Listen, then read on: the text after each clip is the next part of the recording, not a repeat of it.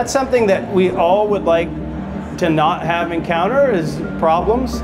But you know, sometimes we find that uh, you know, some of these projects have been detailed multiple times, and everything gets approved, and then the shops get approved, and then it gets to the CNC, and then sometimes even gets to the job site, and it doesn't fit.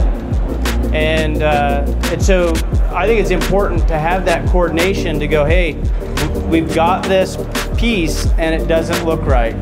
Can we go back and look at it?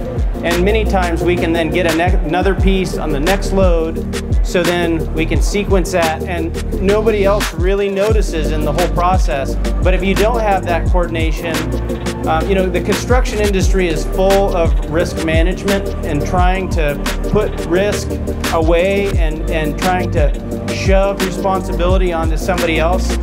I totally get that, but I think we're in the business of solving problems. So if we have good coordination, when there is a problem that arises, we care more about giving the client what they want than we care about whose blame it is. And I think that's uh, critical when you're defining the team. You need problem solvers.